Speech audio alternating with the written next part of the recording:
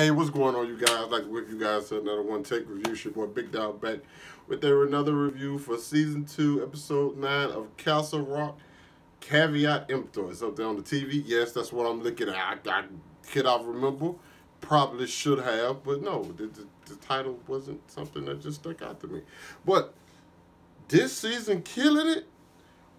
Only thing I am worried about though is that we as an episode nine Episode 10 is next week, and that's the season finale. And I have no idea what's going to happen. One, is Nadia, Abdi, Annie, is all of them going to come back to Castle Rock? Or is the is the um ceremony to go on as planned? Because them, they, them breaking back uh, Amity? With, is, is they to use Joy as the host? Uh, why? And then I'm thinking about this episode because this this also this is a spoiler thing. I don't know if you I don't do non spoiler reviews for like shows, so eh, this is definitely a spoiler review. But it's not a technical well, it's technical review and kind of not a recap. I'm just gonna say, but some some stuff that happened in this episode it's like, hey, I'm, I'm, gonna call them the zombies. Okay, yeah, um, the zombies, the zombies infiltrated Pop spot where everybody was at. Everybody who wasn't a zombie was at because Pops now was getting chased by some of the. I, I just have to call them zombies. I know they were actually used to be people. I get it, but for the sake of the show and for the sake of the review or recap, whatever you want to call it, they're zombies. Okay, cool. So yeah, moving on from that. Abdi say Abdi pulls a nick at a time. I'm in right place, right time. So situation where he rescues Nadia and the, the, I don't know the little girl, the girl who was hanging with Joy. I actually don't know her name. I don't think nobody said her name. If they have, eh, you know exactly what I'm talking about though. So they rescue them, um, and this is where I kind of feel like the story was good, but I feel like the plot kind of helped because for some reason or another they knew that Pop was in his place and that's where they should go. Uh, talking about Annie, the lady who, I mean, if I forget her name, really doesn't matter at this point because she died. Okay, sorry for her because she was just trying to run the freedom. She heard the train and, and she got shot by one of the zombie people, which sucked because that's and that's pretty much what this episode kind of became about. It's like, hey, we're trapped inside this place. These guys are out here. They won't what Pop had, and Pop has a letter from the old sheriff. But you know that sheriff was the guy who like had what's name locked up under the jail, uh, Bill Skarsgård, because they, they call him the child. Uh, in the first one, that's his, actually what his name's under. And I could they in this season you probably can call him the angel, but don't call him Bill Skarsgård, people, because the child or the angel just not working for me. Also, well, and he wants those letters because he know Pops have them, and they're probably gonna lead him to where Bill Skarsgård's character is because don't nobody know who he is. He's no longer under the jail, which was a surprise to us. When I think when we saw that because we thought last time we see him, that's where he got left at, and we know he was there for years the first time. So how how did he get out?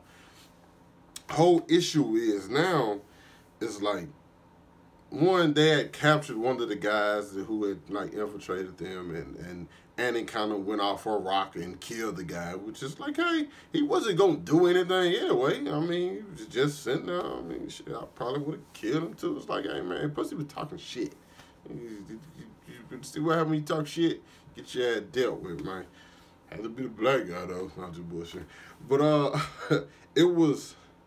That's that's essentially what this episode was. But the weirdest shit that happened in the episode to me was the whole bomb situation because Paul was like, hey, if I blow, he, he burnt the letters. He didn't do it at first, but he realized, like, oh, okay, Augustine or Augustin, whatever the head that. I saw this, I got it on subtitles, so I seen his name was Augustine beforehand or Augustin before. And I'm like, okay, his name Augustine.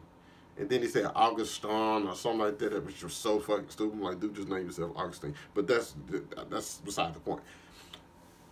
Pop took the batteries out the detonator and, and could have blew himself up. But instead he took the medicine that brings a person back.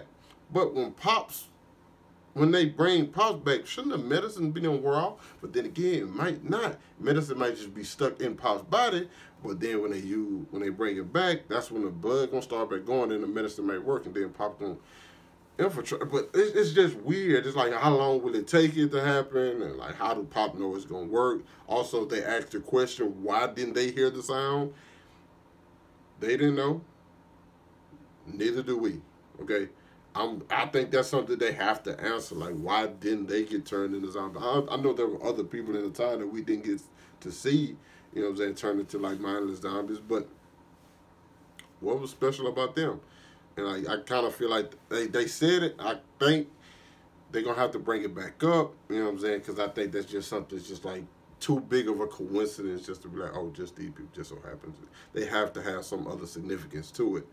Uh, whether or not they just like, hey, these people weren't born in the time or something along those lines. If they if that's the case, that would be better. But just like saying like, nah, these there's nothing that, that just I, I don't think we can let that fly. But they escaped. And this whole episode, I thought like since this episode nine, I thought we gonna get to see Bill Skarsgård character. I thought he when they crossed the uh, the train, I thought he was gonna be waiting on the other side and like you know, just be his creepy self to be real. But that didn't happen. So I'm, I'm don't know. We have one episode left, and it's kind of weird because I don't necessarily know exactly where we're going. I know we have to, the ceremony. Uh, they're gonna bring Pops back. They're gonna bring supposed to bring Amity back, and supposed to have supposedly Bill Skarsgård character supposed to be in that. That's all I know. I don't know what their goal is. I don't know what they're trying to accomplish when she bring them at this certain time. I think she's gonna let us know when she get here because I'm assuming she's gonna get there. But to be to for a show to have ten episodes and you get to episode nine and you still don't necessarily know episode ten going on, what's gonna happen in episode ten. Typically, in most in most scenarios, would probably worry me. But for some reason, I guess granted, how this season's been going, I'm not worried. I think everything's gonna tie itself together. But if it don't, if it does not, you guys will see me next Wednesday. Probably a little earlier than this because I'm getting this review up late because I was pretty busy today. But damn it, it will be Wednesday. Next Wednesday. If they don't pull it off, I will be right here shit talking skywalking because y'all know one thing I hate more than anything is a bad ending.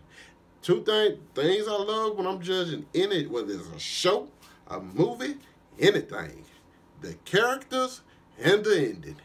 You can pull those things off, you probably get a good grade from your boy.